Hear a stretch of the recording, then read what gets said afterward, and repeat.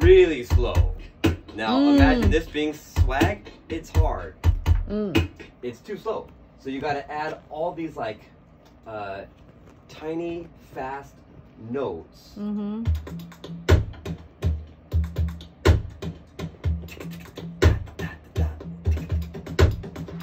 Cool.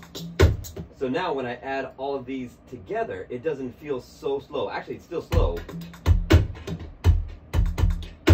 Oh, so cool. And it's not too busy. It's not like the whole time because that would be Mm. weird for sort of like hand drum percussion. yeah. So it's just like ta ta ta boom boom boom ta ta ta.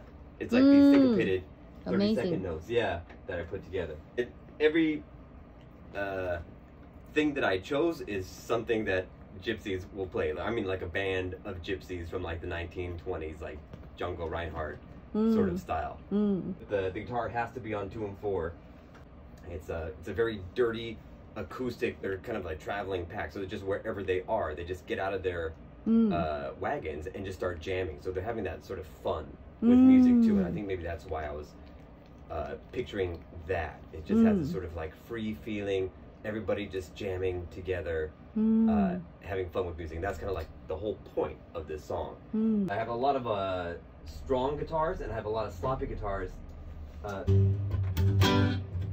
so you can kind of hear they're like a little bit sloppy, so it sounds like three or four guitars like mm. playing together.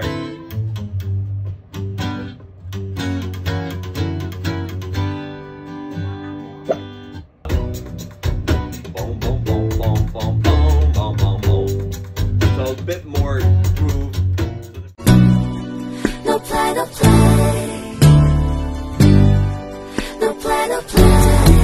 And nobody wanna be one girl.